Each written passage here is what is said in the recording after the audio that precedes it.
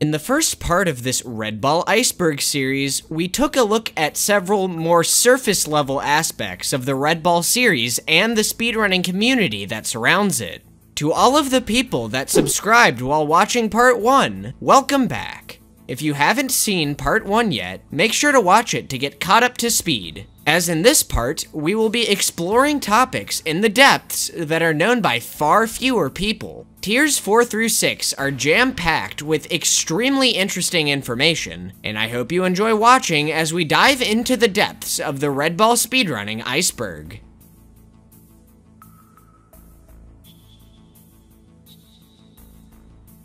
Here in Tier 4, we are very far down on the iceberg. The surface of the water can still be seen, but this area is still extremely dark and hidden. Sonya was a person that submitted around two dozen sped up or spliced runs across the Red Ball and Red Ball category extensions leaderboards, in a saga that lasted several months. The video modifications were often extremely obvious, and the runs weren't even that stellar. Cheating in speedrunning is a really dumb mistake to make, as it completely sacrifices your personal integrity, and getting genuine times are always more fulfilling than taking the easy way out.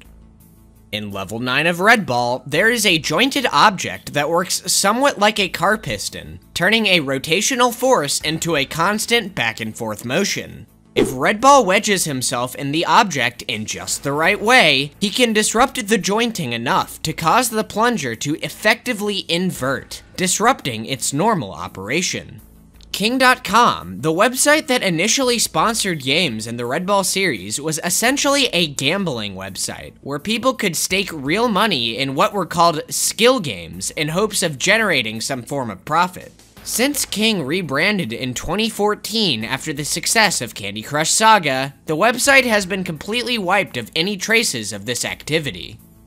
All of the Flash games in the Red Ball series are set to run at 30 frames per second, all except for Red Ball, which carries an extremely uncharacteristic 31 FPS. It is largely believed that this was a mistake during development, as the physics in the game are clearly intended to be run at 30 times a second. There isn't any practical reason for setting the game to 31 FPS, as everything functions just fine when it is set to 30. The difference between 30 and 31 FPS is extremely unnoticeable while playing, but it does come with the side effect that the game is actually running faster than intended. 3.33% faster to be exact. If the game ran at 30 frames per second instead, EG's current world record of 307.9 would actually convert to be around a 314.167, completely altering the difficulty of the 10 second barriers of the game. Because of the impact that this would have on mentality, it is likely that the history of the game would be completely different had it not been for this tiny mistake while programming. There isn't any health bar in Red Ball 2 like there is in the Red Ball 4 volumes, but there is actually a secret health bar that Red Ball has relating to swimming in the toxic water. Upon loading a level, Red Ball can spend a total of one second in the water. If this limit is ever exceeded, Red Ball will die and the level will reset. For example, if Red Ball spends 29 frames in the toxic water before exiting, he will have effectively expended 29 out of his 30 hidden hearts. If Red Ball touches the water for a single frame more, he will instantly die. Speedrunners have to manage their toxic health in level 16 to avoid dying and losing a bunch of time. In level 8 of Red Ball, there is a purple car that hides far more pain and agony than you would initially expect.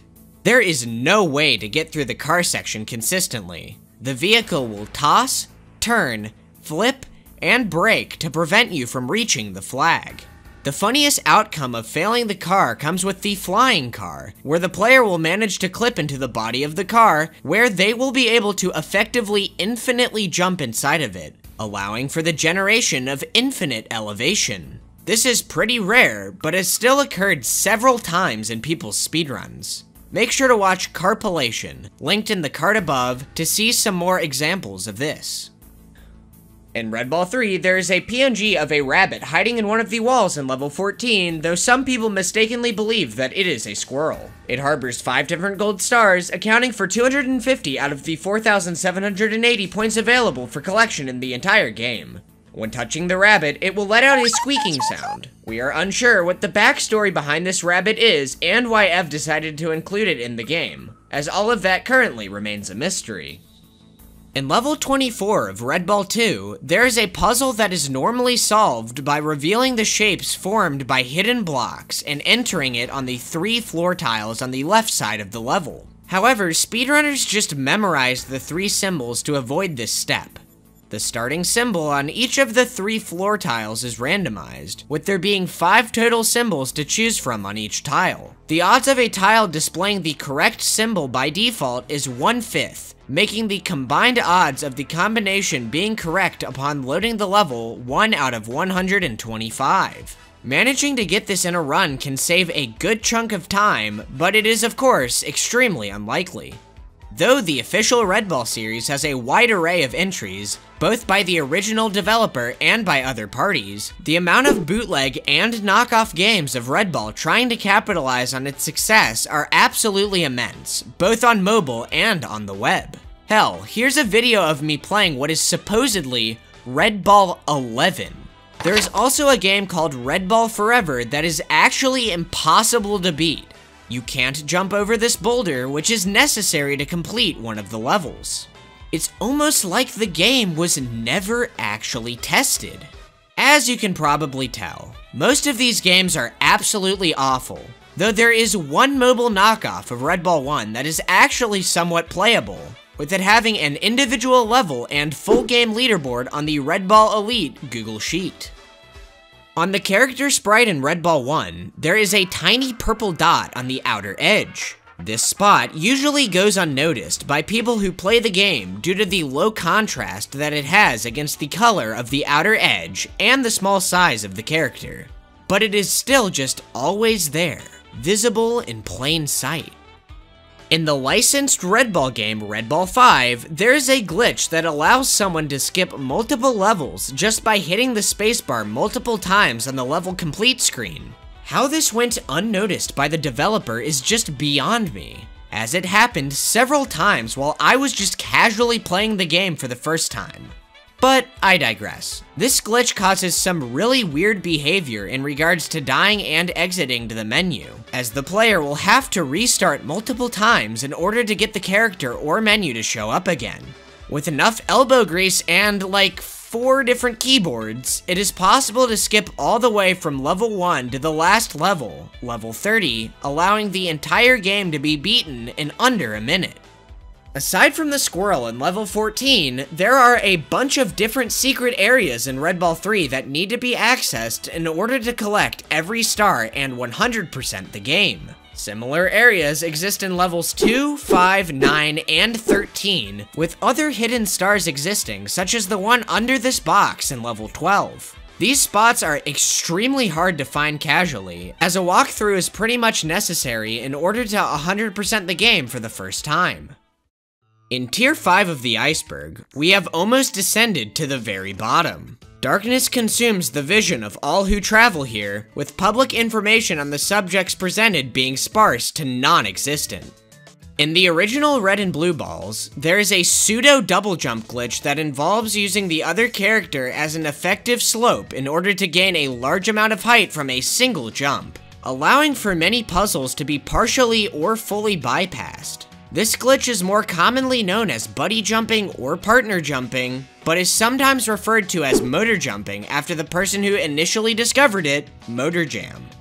In the Red Ball 4 volumes, there are many instances of apparent RNG in the boss battles that can either save or cost speedrunners a decent chunk of time. However, none of these battles have actual RNG present in them, but rather play slightly differently every time due to character position having a great impact on how the boss plays. In the final phase of the Volume 1 boss, the boss can decide to bounce either 4 or 5 times before becoming vulnerable again, a total of 3 times. Each 5 bounce costs anywhere from half a second to an entire second over getting a 4 bounce. So this final phase can become the make or break point for many speedruns due to the game being very short. The boss can be somewhat manipulated to have a greater chance of jumping only 4 times, but it is effectively impossible to consistently achieve this result.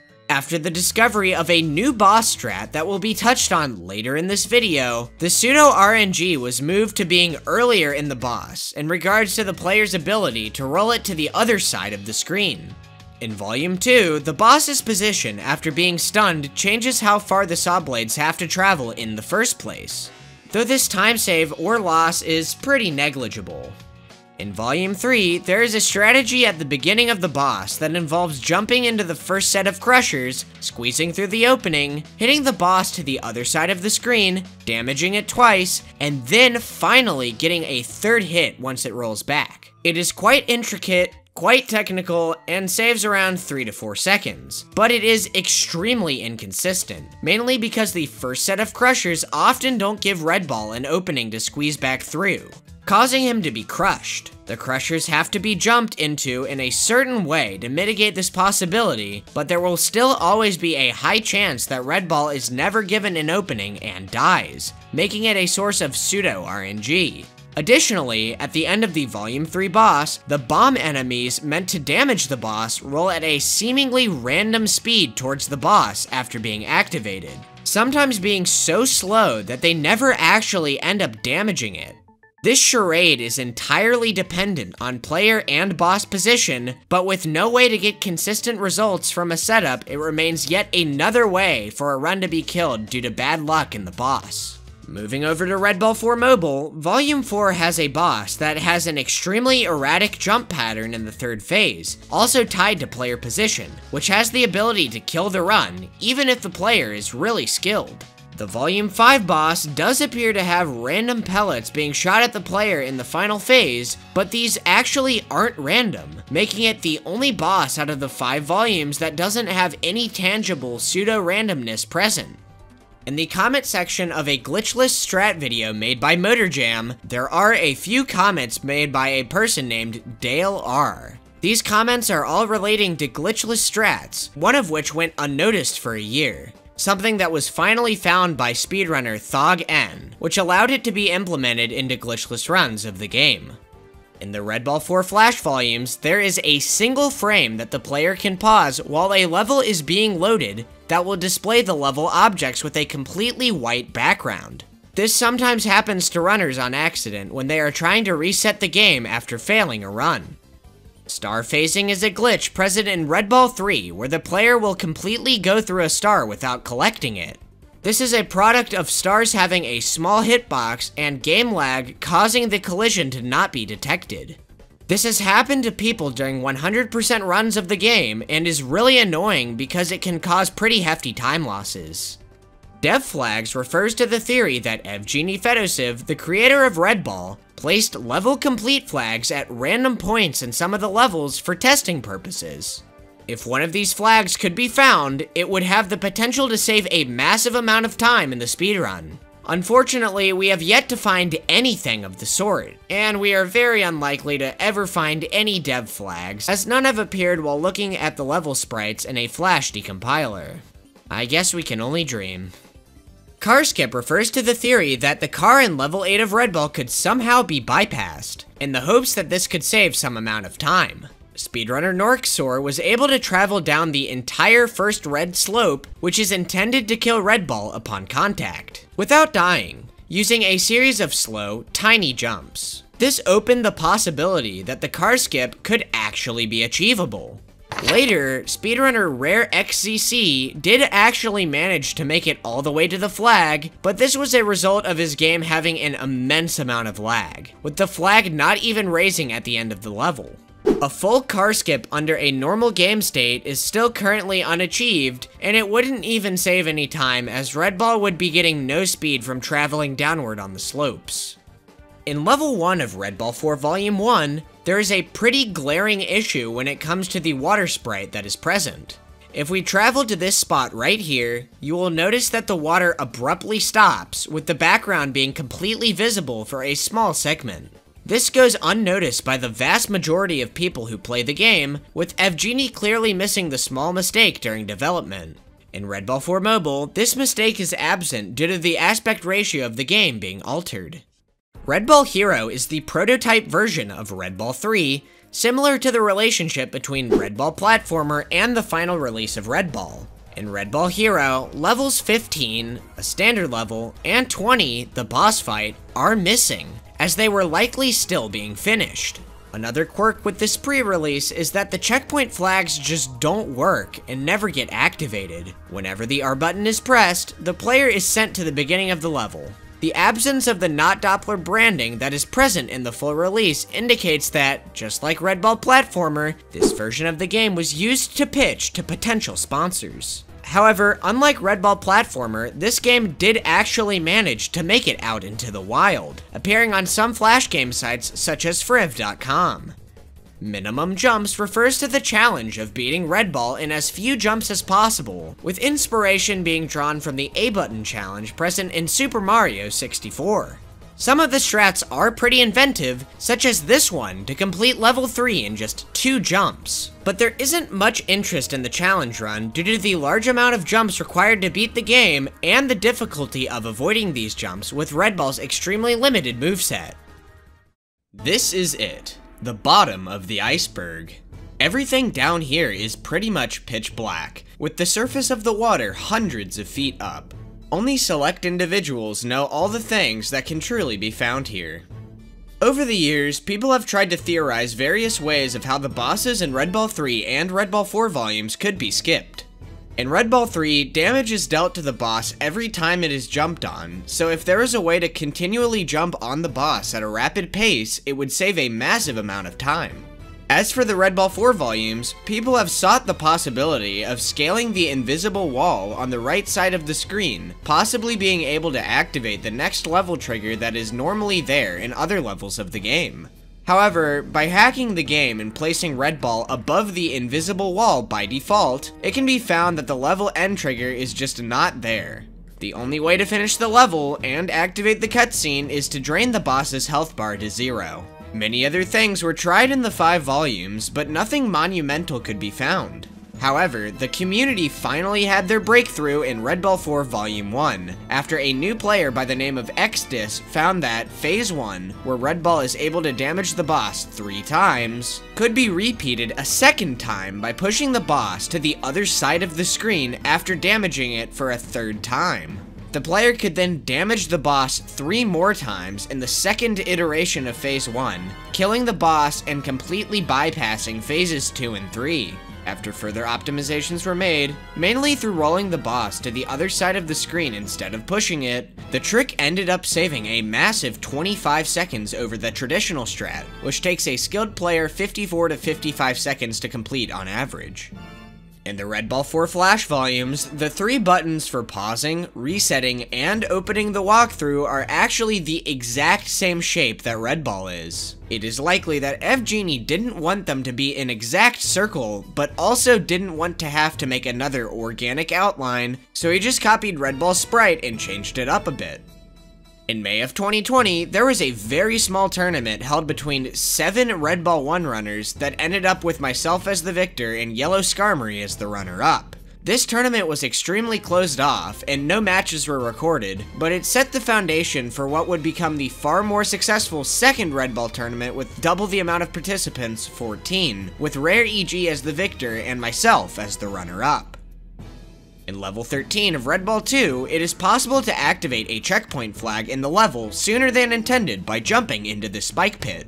The player can then backtrack to collect a few stars and reset again, where the level can then be completed. This saves just around 2 seconds over normal method of completion, mainly due to Red Ball not having to lower out of the wind section after collecting the 3 stars up there. The reason that this is at the bottom of the iceberg is that we have no idea what causes this to happen. It's a complete anomaly. Nothing really stands out as being off in the code. If this checkpoint can be activated early, what if other checkpoints can be activated early as well? Will we find more instances of this by pure chance? Or will we be able to find other examples by cracking the code of the early activation in level 13? It's a deep rabbit hole that has everyone continually guessing. Missing runs refers to the fact that many speedruns have been removed or deleted from the leaderboards across the Red Ball series, one of them being a time as fast as 328 in Red Ball 1. Most of these runs have been deleted by the people who uploaded them, but some runs were also purged due to the 430 game audio cutoff that was implemented in Red Ball 1 in 2017. Though many of these runs were restored back to the leaderboards after the cutoff was lowered to 4 minutes in 2020, some were probably just never added back. Additionally, many runners have deleted the videos attached to their runs from YouTube, leaving a couple spots in the history of these games incomplete. These runs could have featured new strategies or inventive gameplay that have now been completely lost to time. When the Red Ball community first started exploring Red and Blue Balls, the side series of Red Ball, we became quickly frustrated at the lack of speedrunning skips, being forced to complete the inconsistent, unintuitive puzzles present in each level of the game. Hell, we even struggled to complete the game at all in the first place due to the sparse amount of information on how to solve some of the puzzles and the non-functional hint button. Unfortunately, the pause jump strategy used in Red Ball 2 barely gave the player any extra height, rendering it pretty much completely useless. At a dead end, I decided to put up a whopping $5 bounty for anyone who would be able to discover some form of useful double jump glitch in the game. Not long after, MotorJam discovered the aforementioned buddy jumping, allowing him to claim the bounty. In his speech at a Flash game conference, Evgeny mentioned that he made a game called Raindrop before creating Red Ball, with a blurry photo displaying some of the gameplay. Unfortunately, no traces of this game have been found online, leaving the community to wonder what the gameplay was like, unsure whether the game was ever released in the first place. The Red Ball 4 Flash volumes all feature heavy obfuscation in their code, which makes it pretty much impossible to read and decipher what is really going on. JPEXS, a piece of Flash decompiling software, sometimes fails to decompile extremely crucial methods in the game's code, leaving us completely unsure what the code there even is. It is possible that, shrouded in all this secrecy, there are crucial bits of information in the game's code that could give us a better understanding of the game, possibly allowing us to invent new speedrunning strategies with the newfound knowledge. However, with the code effectively locked up, we can only sit and imagine what secrets may lie within. Similar to the boss skip theories mentioned before, Early Girlfriend describes the theory that Red Ball could somehow clip or break open the cage that Pink Ball is lowered down in earlier than intended, creating the potential for a massive time save. The level ends when Red Ball makes contact with Pink Ball, a possibility that is separated by just a thin shim of metal. Dangshibara is currently the world record holder for the slowest time on the Red Ball 3 leaderboards. All of their speedruns on speedrun.com were performed in around a four month time period from late 2015 to early 2016, with no apparent activity being recorded since then. Their blazing fast Red Ball 3 time of 45.36 actually used to be the world record due to no other runs being present on the leaderboards. The description of this run reads, pretty good run, will be hard to improve. The world record as of recording this video is a 536, exactly 40 minutes faster than this run, a run which, once again, used to be the world record. Truman to Good is a speedrun.com user that never submitted any runs, but still managed to change the course of history of Red Ball speedrunning with just one guide on the 17th of October 2017. It reads, If you pause and jump while on the ground, your game will be paused, but when you clicked P again, you will jump. Knowing this, if you press P and jump at the same time, then hold space and click P, you jump twice as high. I found this messing around, so this should make the run a lot easier. That's right, this random person who created a speedrun.com account presumably just to make this post, discovered pause jumping, the most important speedrunning glitch present in both Red Ball 2 and Red Ball 3. This post actually went unnoticed for quite a while, as Red Ball 3 was extremely inactive at the time, and because guide posts are far less likely to be seen than forum posts. It was only after Motorjam noticed the post that I used it to beat Jandog with a 638 on the 17th of October 2018, exactly a year after the trick was initially discovered. On the same day, I achieved a 1352 with the glitch in Red Ball 2.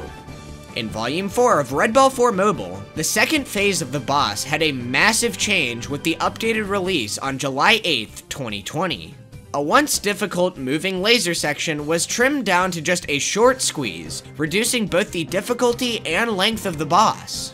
Though it could have been removed because of the moderate difficulty, it is still completely unknown exactly why the change was made. For all we know, it could have been a complete mistake. The patch notes for that July 8th update only mentions bug fixes, saying nothing about the substantial change to the boss.